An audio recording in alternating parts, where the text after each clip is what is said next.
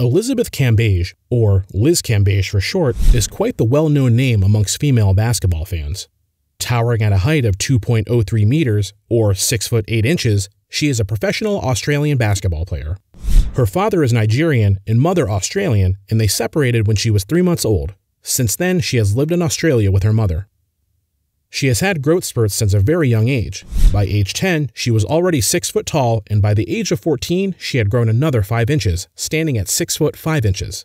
Of course, her height made her stand out in school, which also made her a target for a lot of bullying and teasing from her schoolmates.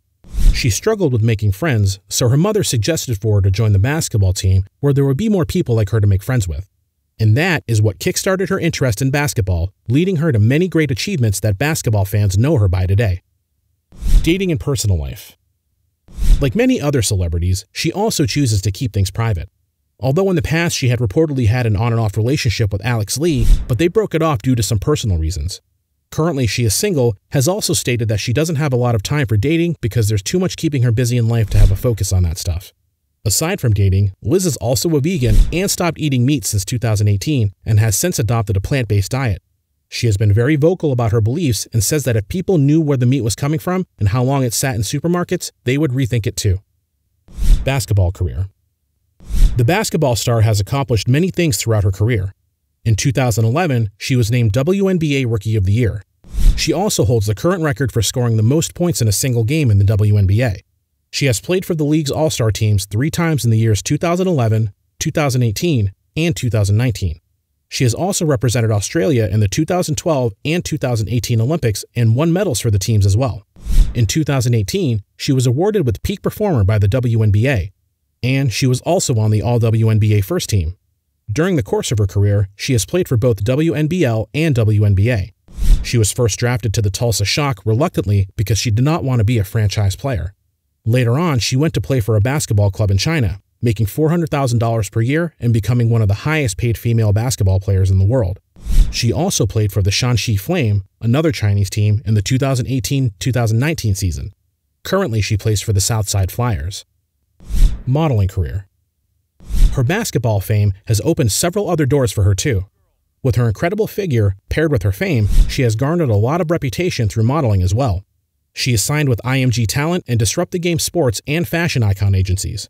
With over 555.5 thousand followers on Instagram, she is an ambassador and spokesmodel for Adidas Basketball, Vitadrop, and Savage X Fenty, which is Rihanna's lingerie brand. Not only that, Cambage has graced the cover pages of many magazines.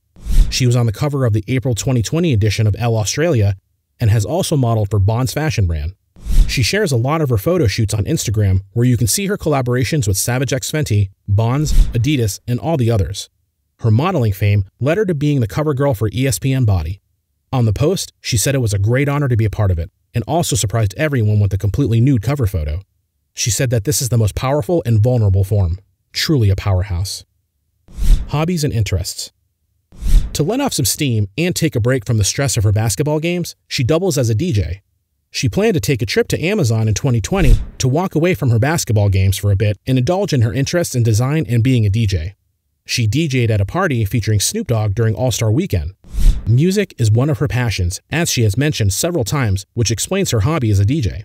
In an interview, she said that she used music to calm herself and to help pump her up before games. When asked about her DJing interests, she said that it was something she wanted to do since she was 15. She learned DJing through several DJ friends that she made. She has also shown interest towards architecture and fashion design, saying it fascinates her greatly. We look forward to seeing what the future holds for her and where her career leads her later on.